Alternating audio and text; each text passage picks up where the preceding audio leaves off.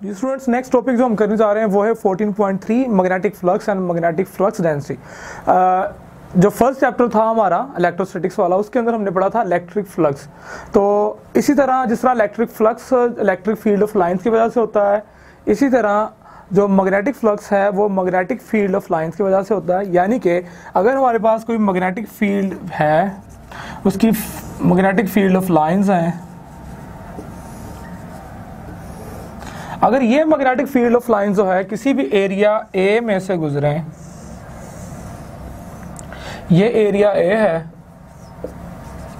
अगर इसमें से मैग्नेटिक फ़ील्ड ऑफ़ लाइंस गुजर रही हैं तो हमारे पास मैग्नेटिक फ्लक्स जो है, उसको हम डिफाइन करते हैं फाई और इसका सबस्क्रिप्ट में लिखते हैं बी जो कि डॉट प्रोडक्ट होता है हमारे।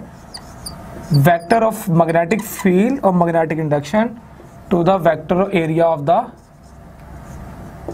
that surface through which the magnetic field of lines passing यानी जिस सरफेस uh, एरिया में से magnetic field of lines passing हो रही होंगी the number of field magnetic field of lines passing through a surface area अब ये याद रखना कि ये मैग्नेटिक फ़ील्ड जो है ये यूनिफॉर्म मैग्नेटिक फ़ील्ड हम ले रहे हैं ठीक है?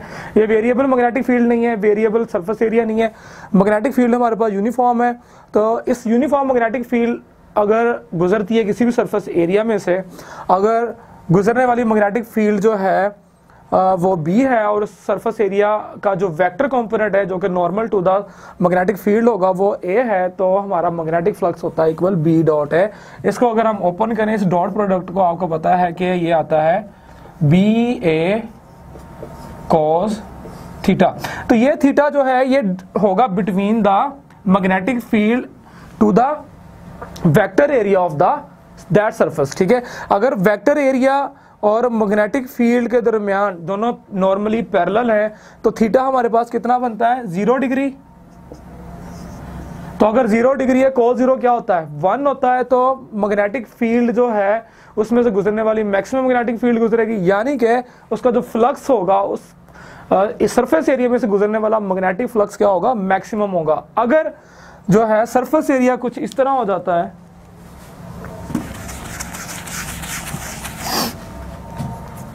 कि ये सरफेस एरिया है। और ये मैग्नेटिक फ़ील्ड ऑफ़ लाइन जो है, ये गुजर रही हैं।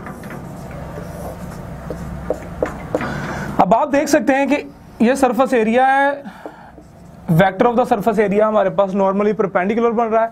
अगर परपेंडिकुलर होगा तो थीटा हमारे पास 90 डिग्री हो जाता है और कोज 90 क्या होता है ज़ीरो होता है। तब इसमें से गुजरने वाला जो मैग्नेटिक फ्लक्स है, वो ज़ीरो होगा। ठीक है? क्योंकि कोई भी मैग्नेटिक फ़ील्ड ऑफ़ लाइन जो है वो उसके सरफेस एरिया में से नहीं गुजर रही। हमारे पास direction of the surface area जो है नॉर्मली परपेंडिकुलर है। या कह लें कि आपका सरफेस एरिया जो है उस जो सरफेस एरिया जो है वो पैरेलल टू द क्या है? मैग्नेटिक फ़ील्ड ठीक है? तो एंगल जो है आप देख सकते हैं कितना है नाइन्टी डिग्री का। अब बच्चों बात यह है कि अगर हमारे पास एक नॉन यूनिफॉर्म मैग्नेटिक फ़ील्ड और, और एरिया भी हमारे पास जो है स्पेसिफिक ना हो तो उसके लिए अगर हम मैग्नेटिक फ्लक्स मालूम करना चाहें,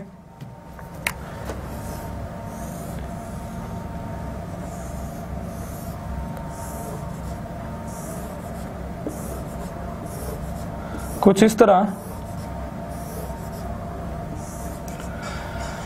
तो इस तरह के केस के अंदर जो है हमारे पास सरफेस एरिया का जो वेक्टर है वो इस तरफ़ होगा तो एंगल क्या बनेगा? थीटा ही बनेगा।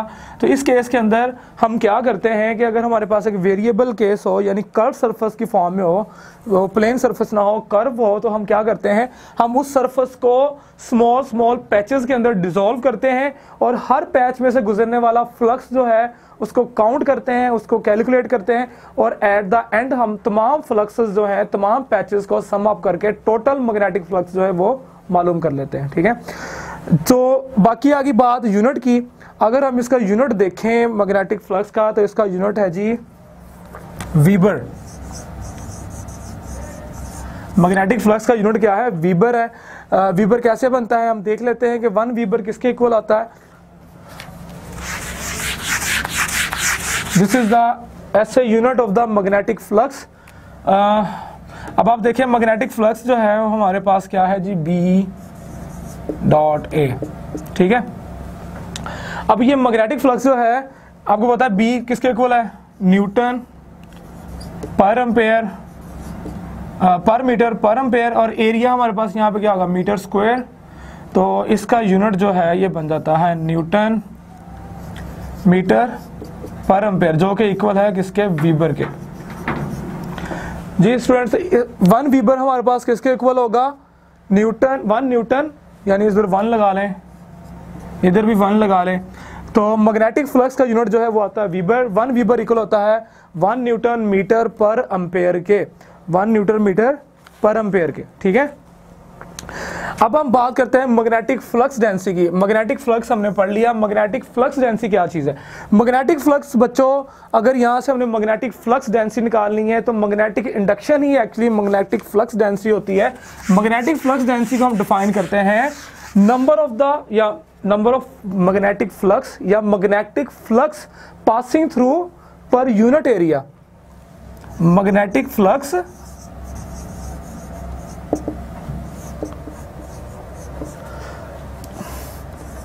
per unit area passing ना लिखने बल्कि लिखते पर यूनिट एरिया ये हमारे पास होती है मैग्नेटिक फ्लक्स डेंसिटी ठीक है? यानी मैग्नेटिक फ्लक्स जो है पर यूनिट एरिया हम कैसे निकाल सकते हैं? इसी इक्वेशन को अगर हम यूज़ करें तो यहाँ से हमारे पास मैग्नेटिक फ्लक्स डेंसिटी जो है, जो कि मैग्नेटिक फ़ील्ड स्ट्रेंथ भी है मैग्नेटिक इंडक्शन भी है there is an other name of the magnetic induction magnetic field strength this is called magnetic flux density ये इक्वल होगी हमारे पास फ्लक्स पर यूनिट एरिया। अब फ्लक्स का यूनिट था वीबर। जबकि एरिया हमारे पास क्या है? Metre square. तो इसका मैग्नेटिक फ्लक्स डेंसिटी का यूनिट आता है वीबर पर मीटर स्क्वायर। वीबर पर मीटर स्क्वायर। तो इसको हम शॉर्ट फॉर्म में कुछ इस तरह लिख लेते हैं। Capital W and B small case per metre square this is the unit of the magnetic flux density यानी मैग्नेटिक फ्लक्स डेंसिटी का यूनिट जो है वो है वीबर पर मीटर स्क्वायर और ये बच्चों इक्वल होता है किसके? वन टेस्ला के।